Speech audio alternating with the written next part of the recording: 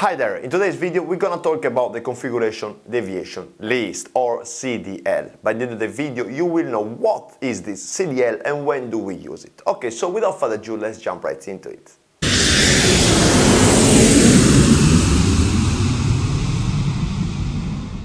Hi there, I'm Gabriele from pilotclimb.com. I'm a training captain on the Boeing 737 and I help you to become a better pilot. So if you want to understand more the pilot training and the aviation world, consider subscribe to the channel because I'm uploading lots of new contents every week. Okay, so let's talk about the CDL, Configuration Deviation List. What it is? The Configuration Deviation List is a manual that can be in form of paper or into the electronic flight bag of the pilot that helps you out to figure it out if you can dispatch with an aircraft if there is a secondary airframe structure or an engine part that is missing. So what it is, so basically let's say you do the walk around and you see that there is some panels that are missing, okay, some landing gear panels that normally are there and are not there anymore. So can you dispatch with that?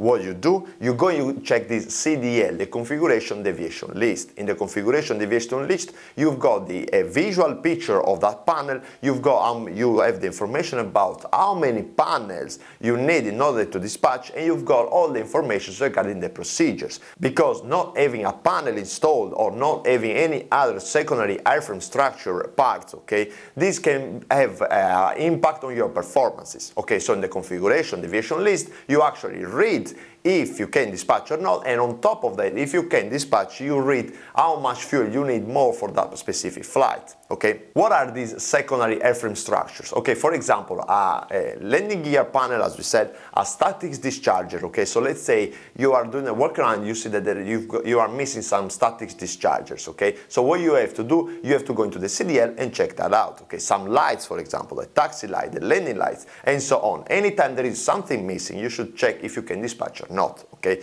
99% of the time when you get on board and you see during the walk around that there is a panel that is missing, 99% of the time they, that is missing because the maintenance guys, they took it away to do some maintenance, okay? So if you check on your tech log, okay, and the tech log is the book of the aircraft where you put everything, what is going on in there, okay? Any defect, any operations, any fuel that you upload, the, the oil and so on. If you check in there, you will find out the, the information about that, most probably, okay?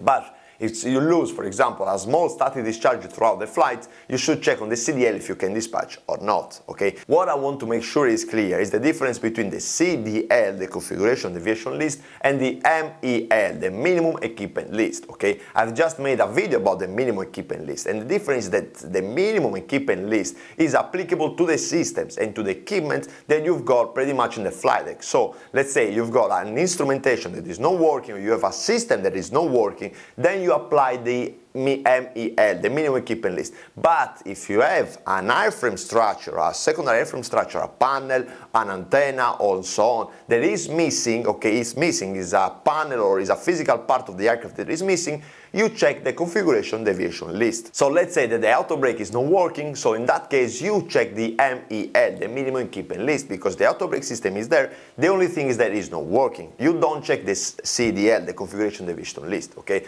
However, if there is a part part of the aircraft, external part of the airframe that is missing, then you check the uh, CDL, the configuration deviation list. I can stress enough the importance of not taking the decisions to dispatch alone, okay? Anytime you see that there is a panel missing or antenna missing, a DME antenna or a static discharger or whatever, a light that is missing there, just don't go through the CDL and decide to, if you can dispatch or not. Go through the CDL, read all the information and then performance penalties that you may have, okay? And then talk to your maintenance okay? Talk to the maintenance guys because they can guide you and give you a lot more information about that okay? So i hope you understood now what the configuration deviation list is and what is the difference between the minimum equipment list and the configuration deviation list. If you have any question leave a comment below and i will help you out. Go to pilotclimb.com where you can subscribe for free pilot training content and i'll see you in the next one